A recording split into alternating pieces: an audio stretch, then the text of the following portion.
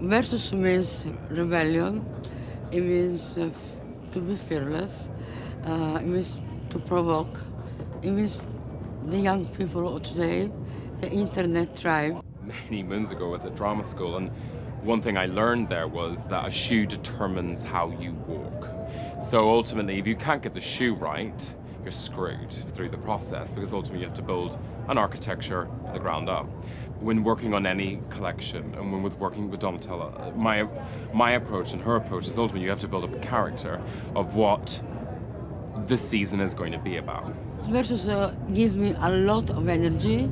I like it. I like to be next to him and looking for something new, not in a loud way, but in a very sophisticated way.